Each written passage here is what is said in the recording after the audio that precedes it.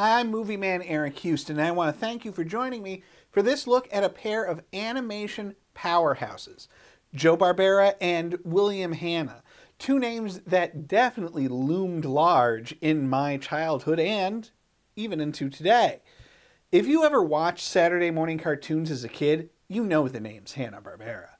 They were producers of everything from Yogi Bear to Johnny Quest, the Flintstones to the Smurfs, and from Scooby-Doo to Space Ghost. The duo created more than 250 different TV series that have been watched by nearly half a billion people.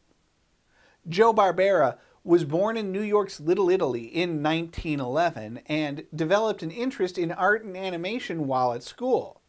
When he graduated, he took a job as a taxman but continued to draw, sending his drawings to many local New York magazines trying to sell them. He would eventually sell cartoons to Redbook, the Saturday Evening Post, and several to Collier's. He soon found work in animation, first for the Fleischer Brothers Studios, then the Van Buren Studios, and Terry Terrytoons, before leaving New York for Los Angeles and a job with MGM's animation department. There, he met William Hanna. Hanna was born in 1910 in the New Mexico Territory.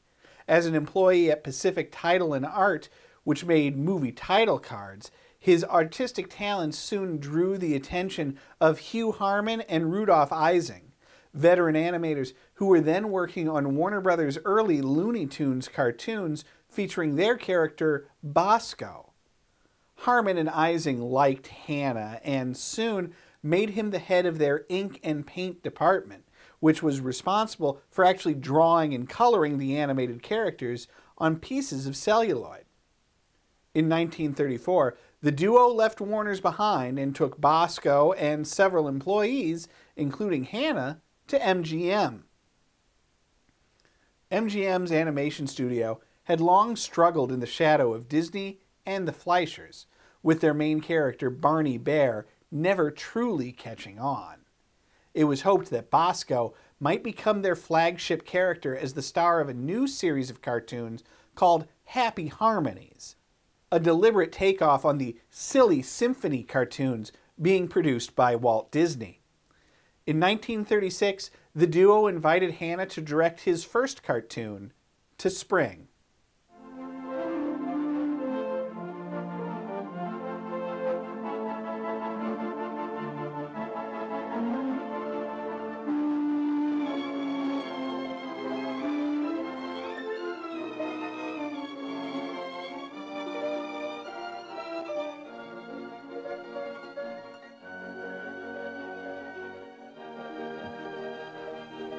By 1937, the relationship between Harman and Ising and MGM had soured, and the duo was fired. Hanna stayed with MGM, though, and soon found himself working at a desk opposite Joe Barbera. The two became fast friends and quickly developed a close, working relationship, even though the two couldn't have been more different than night and day. Joe Barbera was the more creative and story oriented of the two. He was gregarious, enjoyed the LA nightlife, fancy clothes, and slick cars. William Hanna, on the other hand, was more loud and gruff and also more down to earth. He was a lifelong member of the Boy Scouts who enjoyed nature and the outdoors. At work, he was more process and mechanically oriented. It was perhaps these differences that made them such a great team as they could operate as two sides of the same coin.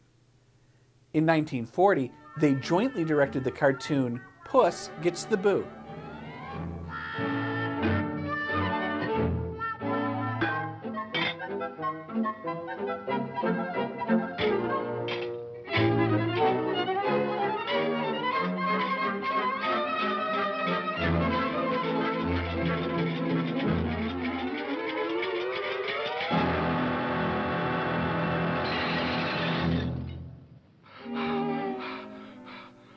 The characters were a surprise hit with audiences and also enjoyed an Academy Award nomination. Encouraged by the success, Hanna and Barbera continued to develop their cat and mouse characters, ultimately turning them into beloved characters Tom and Jerry.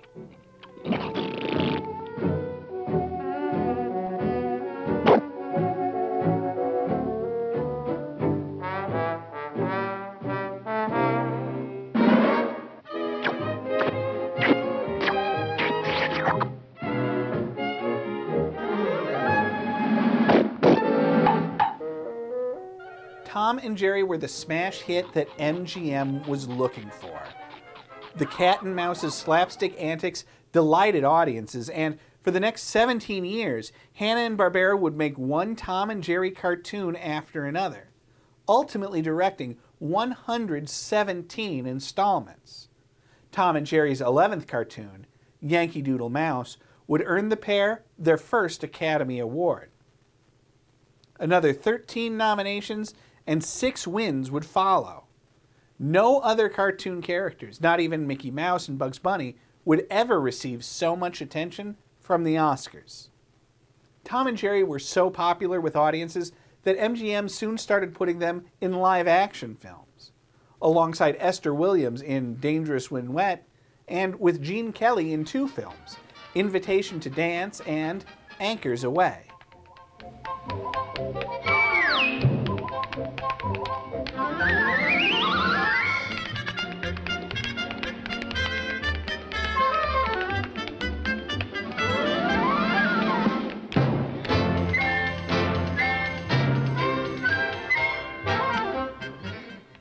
In 1957, Tom and Jerry were still going strong, and Hanna and Barbera had been rewarded with the jobs as the heads of MGM Animation.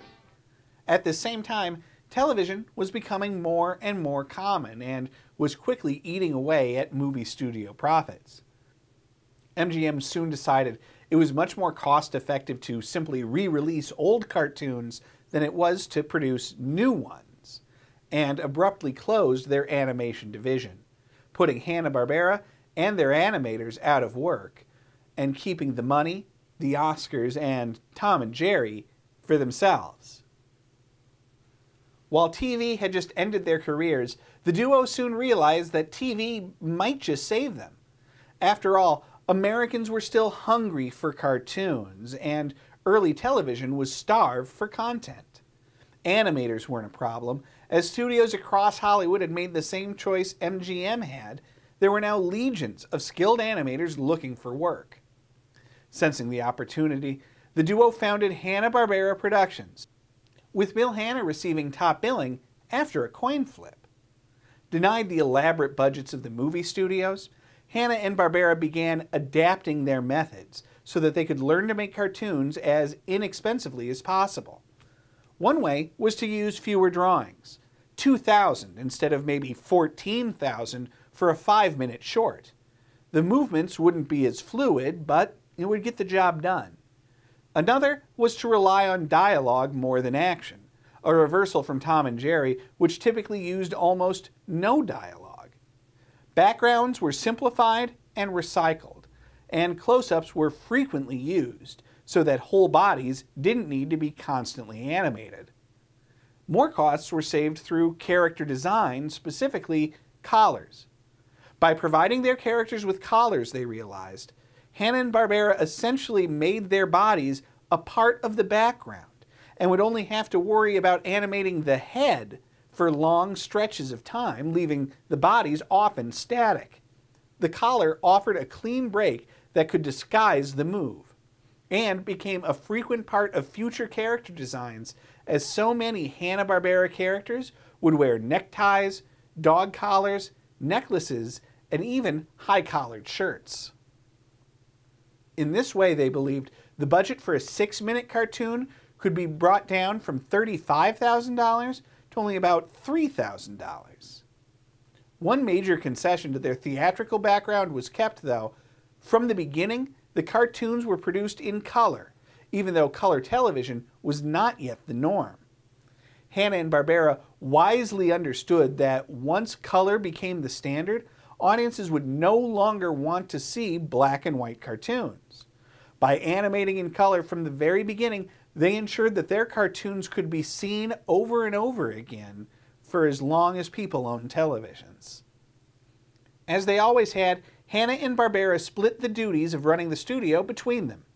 Hanna would manage the day to day operations of the studio as well as the schedules and the more mechanically oriented departments like ink and paint. Barbera would be in charge of writing and creating the shows and would supervise the other writers and storyboard artists. The shows would almost never use written scripts, but instead used elaborate storyboards that looked a lot like a comic book page that would provide words and drawings to guide the animators. All of these techniques came together for Hanna-Barbera's first television program, The Ruff and Reddy Show. Well, things were bad enough. But hang on, Reddy, because they're going to get worse. Here comes a giant condor, and that can only mean a peck of trouble for Ruff and Reddy. Shoo! Shoo! You overgrown chicken hawk? Hey, Red, look! That chicken hawk is chicken out. Old Big Puss is leaving. Well, if you don't do something quick, old Reddy's gonna be leaving, Stephen. One of the very first cartoons created especially for television, the name supposedly came from Hanna and Barbera's personalities. Hanna was rough and Barbera was ready. Hanna and Barbera liked the two-hander element of Tom and Jerry, and Barbera always liked cartoons about dogs. With this show, though, they decided to make the characters best friends, allowing them to put the focus on wit and verbal gags rather than the expensive chases and slapstick violence of Tom and Jerry. To this end, the characters would obviously need to speak, unlike Tom and Jerry. To voice the characters, Hanna and Barbera hired real-life friends. Don Messick played Ruff. A former ventriloquist and radio performer, Don was also the substitute voice of Droopy the dog. Daws Butler played Reddy.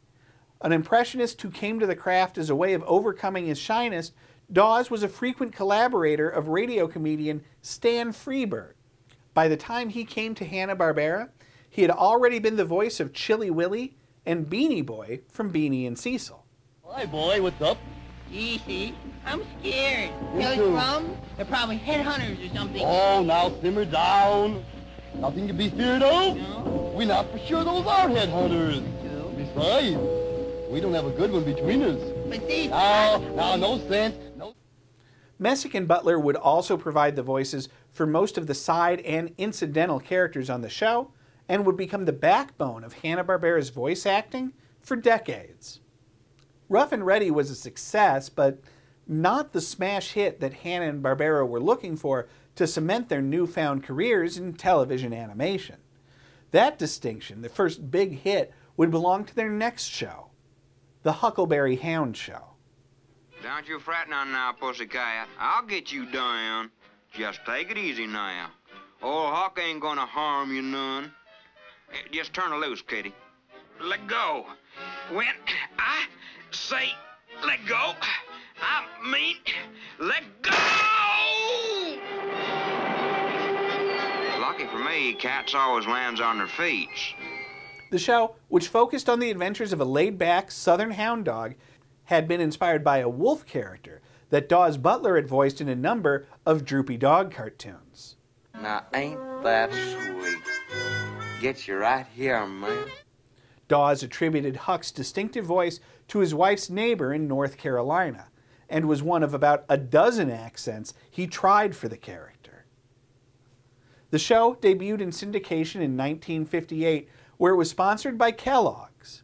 It quickly became popular and, in 1960, became the first animated program to win an Emmy Award. Episodes of the Huckleberry Hound Show typically featured three distinct segments. There would be a Huckleberry Hound, Hound cartoon, a Pixie and Dixie cartoon, and a Yogi Bear cartoon. What happens when I pull a rope, Yogi? I sail over the wall, the parachute pops open, and old Yogi floats to the ground like a fallen leaf. Ready, Boo Boo Boy? Go! You forgot to let go, Yogi. Quiet, Boo Boo. It don't mean a thing if you don't pull that string. Okie dokie, Yogi. Geronimo! Yogi quickly became as popular as Huck himself, if not more so, and in 1961 was spun off into his own show, where he and his sidekick Boo Boo would try to steal picnic baskets or otherwise try to get one over on Ranger Smith. Yogi was voiced by Daws Butler, who was impersonating Ed Norton from The Honeymooners. Ranger Smith and Boo Boo were voiced by Don Messick. Yogi's popularity was somewhat unexpected, but he quickly began appearing as toys on cereal boxes, in national parks, in his own 1964 feature film, and even in a comedy album alongside the Three Stooges. It's Larry Moe and Curly Joe. What brings the Three Stooges to Jellystone Park? We're here on business, Yogi. Business? What kind of business? Monkey business. Yeah, we're here to put a stop to your monkey business. But fellas, uh, I don't do nothing wrong. Oh, I admit I find a lot of picnic baskets that aren't even lost. And you keep sneaking out of Jellystone Park, Yogi. Yogi's enduring popularity has led to lead roles in numerous Hanna-Barbera cartoons, including Yogi's Gang, Yogi's Space Race, Yogi's Treasure Hunt, and Yo Yogi. Over time, Huck and Yogi would be joined by dozens of other Hanna-Barbera characters, many of whom were based on popular actors or television series of the day. Snagglepuss was based on Bert Lahr, who had played the Cowardly Lion in The Wizard of Oz and had coined the phrase Heavens to Murgatroyd. The character Doggie Daddy was based on Jimmy Durante, and Top Cat was based on Phil Silvers and Phil's popular Sergeant Bilko TV show. In 1960, Barbera was even working to develop an animated version of The Honeymooners, but the networks weren't interested. Then, one night, a friend of Barbera's told him, hey, what if you take that idea and you set the show in the Stone Age? Barbera quickly came to love the idea and began reworking this Honeymooners concept as a new show, The Flagstones. Unlike other Hanna-Barbera shows, The Flagstones would be aimed at a more adult audience, with the goal to air it in prime time on a major network. And instead of several seven-minute cartoons, each episode of The Flagstones would be one half-hour story, cleverly infusing the standard blue-collar sitcom format with the sort of fanciful situations and props like the family's many dinosaur-powered appliances that only animation could provide. Barbera began pitching to the three major networks, NBC, CBS, and ABC, but all of them were skeptical about the show. After all, no one had tried original animation in prime time before. Barbera kept retooling the idea, pitching it again and again, hoping to change the minds of the networks, and at one point even produced this rarely seen Flagstone's pilot reel to help him sell the idea of the show. Wilma, when are we going shopping? As soon as I serve His Majesty's lunch. He's dining at the pool today. Where's Barney? Oh, he's trying on his gear. Gear? That's right. He's going to practice spear fishing in the pool. Spear fishing? Wilma! Oh, I'll be right back. I've got to feed the fish. Where do you want it, Fred? Uh, just set it down uh, where I can reach it. And remember, if you sink, don't let my best dishes go down with the ship. Barney, it's you. Uh, did my spearfishing outfit scare you? Out of my wits. And don't scare Fred, or he'll lose his lunch and my dishes. Hiya, Fred. And uh, what are you made up for? I'm gonna practice spearfishing. Oh, you can't lose. You'll either spare them or they'll die laughing. How does it work? And don't point that thing at me. It's loaded. Oops.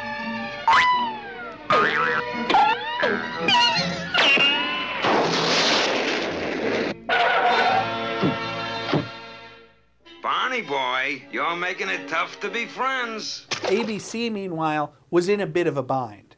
The youngest of the three networks, they had tried to differentiate themselves by offering family-friendly entertainment in prime time, and it had a great deal of success with Walt Disney Presents. NBC, however, had recently outbid ABC for new seasons of the show, in part by promising to air Walt's show in color, technology that ABC did not yet have. Looking for something to fill that Walt Disney time slot, and interested in being able to offer the novelty of original primetime animation, which even Walt Disney wasn't doing, to its audiences, ABC finally greenlit the Flagstones. By this time, though, the show had undergone a couple of name changes. Hanna-Barbera had initially settled on calling the show Rally Round the Flagstones, until they found out that the Flagstone was the surname of the main characters from the comic strip Hi and Lois. They then changed the name of the show to The Gladstones before finally settling on The Flintstones. Sponsors were secured in the form of Miles Laboratory, eventual makers of Flintstone vitamins, and, surprisingly, in the form of R.J. Reynolds, the cigarette company. Gee, we ought to do something, Fred. Okay? How's about taking a nap? Hey, I got a better idea. Let's take a Winston break. That's it. Winston is the one filter cigarette that delivers flavor 20 times a pack. Winston's got that filter blend. Yeah, Fred. Filter blend makes the big taste difference, and only Winston has it. As a quick word, I've included that last segment for historical purposes, but I want to make it absolutely clear that neither I nor North Metro TV endorse smoking cigarettes, which has been shown to cause cancer and even death. The Flintstones premiered on ABC on September 30th, 1960, and was a near instant hit, quickly cracking the top 20. Each week, audiences tuned in for the antics of couples Fred and Wilma Flintstone and Betty and Barney Rubble, all roughly analogous to the main characters from The Honeymooners. Still, hold still. Fred! Barney! What are you two doing? Oh, uh, uh, we were just uh, practicing some wrestling holds. Wrestling holes? Sure, sure, weren't we, Barney? Uh, yeah. Uh, like this one. It's called the body slam. I guess men are just boys that never grow up. And if they keep this up, they won't grow any older either. Fred was voiced by Alan Reed, a voice actor who had appeared on the Baby Snooks radio show and as the Russian wolfhound in Lady and the Tramp. Jean Vander Pyl played Wilma. Jean voiced several small characters for Hanna-Barbera in the years to come and would go on to voice many more, including Rosie the Robot. Mel Blanc, the famous man of a thousand voices who gave life to Bugs Bunny, Daffy Duck, and dozens of others, voiced Barney. Betty was played by Bea Benaderet, a longtime co-star on the George Burns and Gracie Allen show, and played, who also played the character Kate Bradley on Petticoat Junction. The Flintstones' baby Pebbles was added in the third season, during a multi-week event that echoed Lucy Ricardo's pregnancy just a few years earlier. Hey, Hey, hey, what are you doing? I just wanted to get Well, let me do it. Whatever you want, whatever you want, I'll always get it. Here you uh, are, Wilma. How about some shrimp and marmalade compote? Uh-uh. A chocolate-covered hard-boiled egg on a stick? Uh-uh. Oh, you'll love this. Sardines smothered in prune whip. Jean Vander Pyl voiced the character, who was originally going to be a boy, until Hanna-Barbera realized that a baby girl would sell more merchandise, particularly dolls. The Rubbles baby, Bam Bam, was introduced the following year. Also debuting in the third season was the famous Flintstones theme song. Flintstones, meet the Flintstones. They're the modern Stone Age family. From the town of Bedrock, they're a right out of. Let's ride with the family down the street When you're with the Flintstones, have a yabba dabba time, a dabba time. We'll have a gay old time. The song was written by Hoyt Curtin, with William Hanna providing lyrics over the phone. Meet the Flintstones has become one of the best known TV theme songs of all time, and I'm sure at least a couple of you were singing along with that clip. It replaced an earlier theme song that was used for the first two years of the show called Rise and Shine.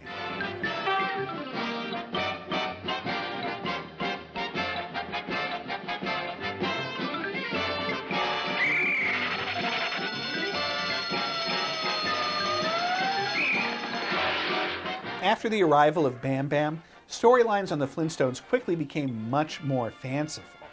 Aside from Bam Bam's own super strength, there was the introduction of the magical alien, the Great Gazoo, voiced by Harvey Korman, the arrival of the Munsters inspired Gruesomes, and guest appearances by the likes of Elizabeth Montgomery, playing her bewitched character, Ann-Margret playing Ann-Margrock, Tony Curtis as Stony Curtis, and even a surprise appearance from this familiar pair. Now you see why I'm smarter than the average Fred Flintstone boo boo. Yeah. The fastest way I know to get a picnic basket. Fred, the basket's gone. Oh, ah, it figures. The Flintstones ran for six seasons and 166 episodes. It was followed a few years later by the Pebbles and Bam Bam Show, which featured grown up versions of the beloved babies, as well as by the Flintstones Comedy Hour, the new Fred and Barney Show, the Flintstone Comedy Show, and the Flintstone Kids. There were also numerous TV specials and TV movies, including one where the Flintstones met their futuristic counterparts, the Jetsons. Watch the birdie. It's only over here. Watch the birdie. Watch the birdie. Look out, there's Joe. Dino, get over here if you want to get in this picture. That's okay, Fred. I'll be able to remember Dino without a picture. While the Flintstones were popular in primetime, Hanna-Barbera filled Saturday mornings with more action-oriented superhero shows like Birdman, The Herculoids, and Space Ghost. Fred Silverman, the head of CBS daytime programming, was looking for something different though. And he approached Hanna-Barbera about creating a new mystery cartoon series that would be patterned on the popular teen sitcom The Many Loves of Dobie Gillis. Hanna-Barbera writers Ken Spears and Joe Ruby set to work on the project about teens traveling in a van and solving mysteries. They first titled the project Mysteries 5, and it featured four teens and their dog sidekick who was named Too Much. The teens themselves were patterned after the characters on Dobie Gillis.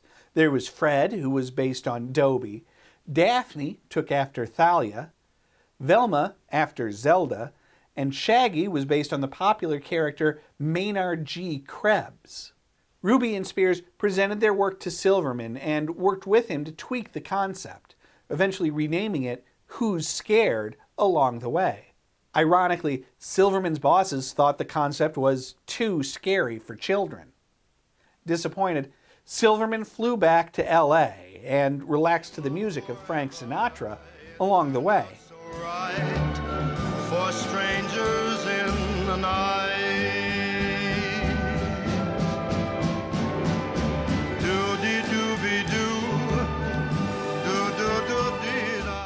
He was struck by the line doobie doobie doo, and that began to spark something in his imagination. He began to think about changing the whole focus of the show, moving it a little bit away from the mysteries and the four teenagers, and making the dog the lead character on the show, naming him Scooby Doo, and then changing the show's focus a little bit more to comedy than horror. This new show would be called Scooby Doo, Where Are You? and premiered September the 13th, 1969 on CBS. Scooby, fetch the beach blanket so we can bundle up. Okay. Excuse me.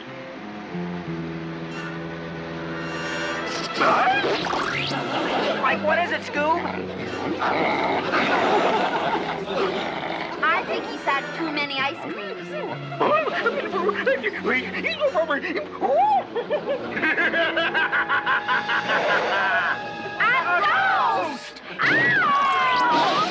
The show starred Don Messick as Scooby, who was largely using the voice he had created for the Jetsons dog, Astro. Frank Welker played Fred.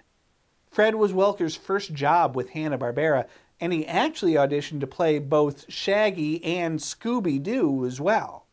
He has gone on to become one of the most in-demand voiceover artists in Hollywood, with credits that include Brain and Dr. Claw on Inspector Gadget, Ray and Slimer on The Real Ghostbusters, Megatron on The Transformers, and several different characters on The Smurfs, G.I. Joe, Captain Planet, Tiny Toons, and Animaniacs.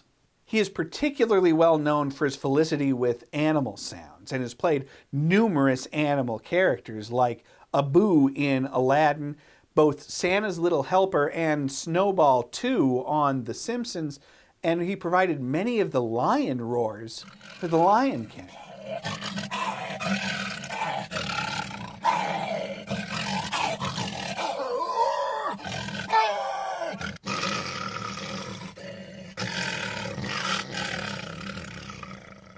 Great.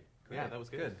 At age 74, Welker is still working today and since 2002 is the official voice of Scooby Doo, in addition to continuing to voice Fred in most of the new Scooby Doo videos.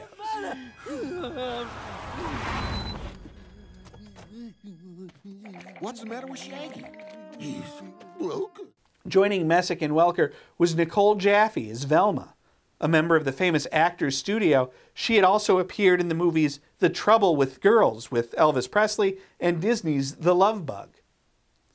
Theater actress Indira Stefanianna played Daphne, but only for the first seasons. When Indira left for New York, TV actress Heather North took over the role and continued to play Daphne in various cartoons through 2003. The original voice of Shaggy, meanwhile, might be better known to audiences by his work on the radio. And moving up the same six notches is the first hit by the new British group Tears for Fears. Everybody wants to rule the world. Slipping to number two. After one week in the top spot is another new group, this one from Scotland. Simple Minds with Don't You Forget About Me. And pole vaulting in from number four to number one is Wham with their third consecutive number one smash. Wham hits the top with Everything She Wants. Yes, Casey Kasem, the longtime host of radio's American Top 40, played Shaggy. The son of Lebanese immigrants, he started the popular radio show just a year after starting as Shaggy, and continued his cartoon voiceover work well into the 80s, playing characters like Robin the Boy Wonder along the way. He voiced Shaggy until 1995. Uh, how many of you know the show Scooby-Doo? Well, there's a character that I play on that show, the sidekick of Scooby-Doo for the past 17 or 18 years, and his name is Shaggy. And Shaggy would like to say a few words to the young people out there, all right? Go ahead. Are you Shaggy? I'm Shaggy. Go ahead, Shaggy, Shaggy. talks like this. The way he talks, Jer. Go and he's always talking about his good buddy Scoob, his old friend, his old pal, his old dear, dear buddy. Scooby and Shaggy were unusual characters in the world of TV comedy. Not only were the duo unrepentant cowards who often hurt the team's prospects rather than helped them, they were also two very similar characters with similar personalities. Unlike most comedic duos like, say, Laurel and Hardy and The Odd Couple that are typically portrayed as polar opposites. Freddie said to search the place from top to bottom. Wouldn't you know we'd be the ones to search the attic?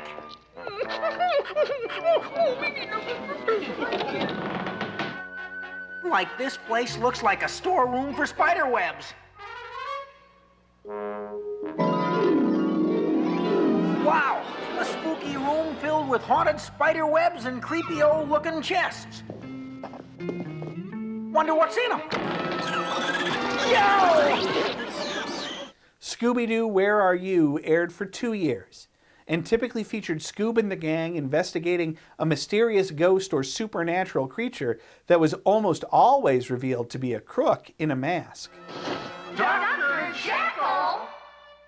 So it really was Dr. Jekyll behind the ghost of high jewel robberies. It sure was, Sheriff. When all his crazy experiments failed, Dr. Jekyll decided to turn to a life of crime. The show was hugely popular, with 65% of the Saturday morning audience tuning in for their exploits. After two years, Scooby Doo Where Are You became the new Scooby Doo movies, a new hour long program that saw Scoob and the gang teaming up with popular celebrities of the day, including Don Adams, Sonny and Cher, Phyllis Diller, Jonathan Winters, and Dick Van Dyke. Look at those costumes. They're glowing. The ghosts are nothing but luminous cloth.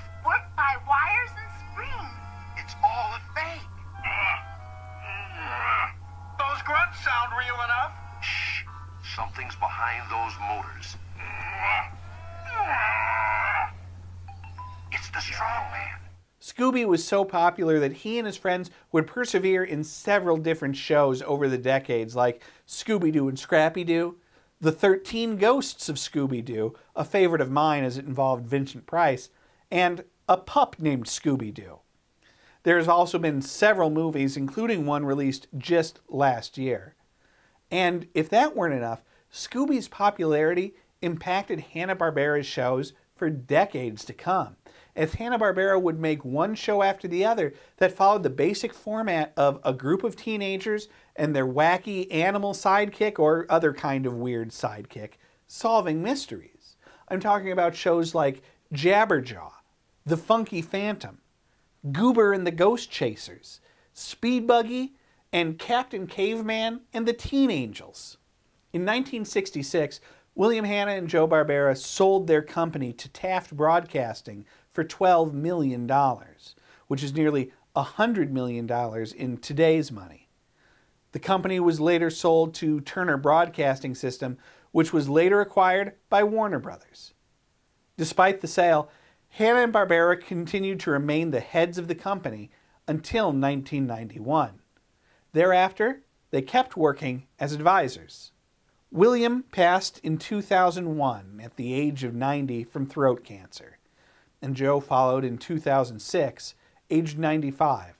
Though they were as different as night and day and rarely interacted outside of the office, the two remained collaborators and close friends for their entire lives.